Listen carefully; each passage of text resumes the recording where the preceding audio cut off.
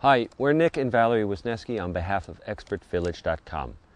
We'd like to show you some ways to identify black bear tracks in the wild, and for more information, you can check our website, walnuthilltracking.com.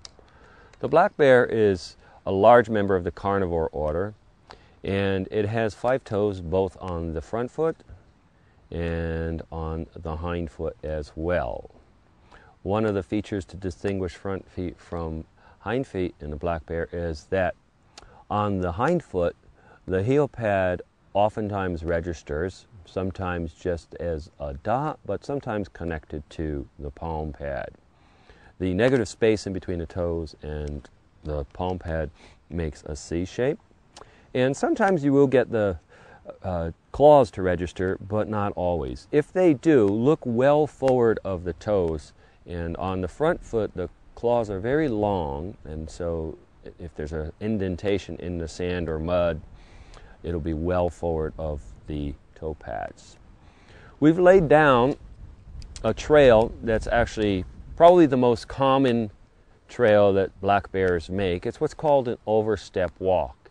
And in an overstep walk, the front foot will touch the ground, and then the hind foot on the same side will leave an impression that has traveled further than the front foot.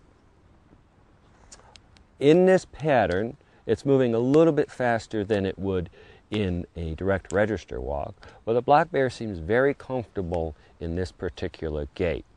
And the strides are going to be anywhere from about 18 to 28 inches. In this case, this trail is about 23 or so from leading edge of one hind foot to the leading edge of the other, 22. And the trail is fairly wide, um, usually in this pattern about 18 and a half inches to 13, 13 and a half or so. In this case, this one that we've put down here for you is about 12 inches wide. So a fairly typical stride and a fairly typical trail width for a black bear.